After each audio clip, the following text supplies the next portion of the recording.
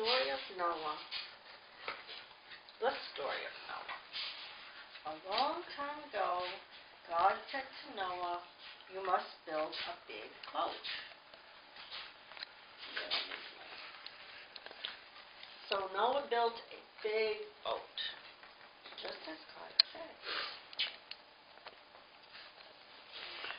The boat was called the Ark. See Noah and the animals and the Ark.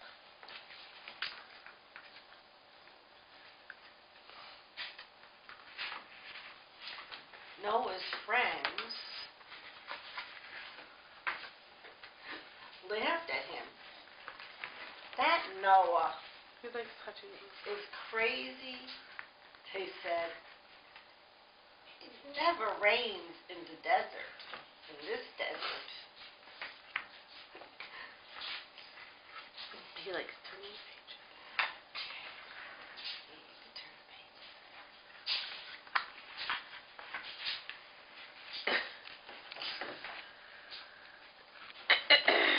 and so, it was a rainbow. And there's the rainbow.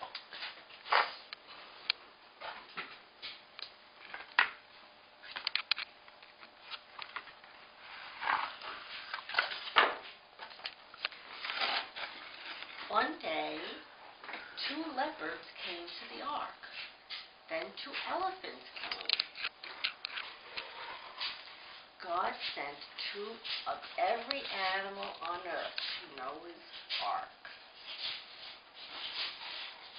After the animals were inside the ark, Noah went, Noah went in too.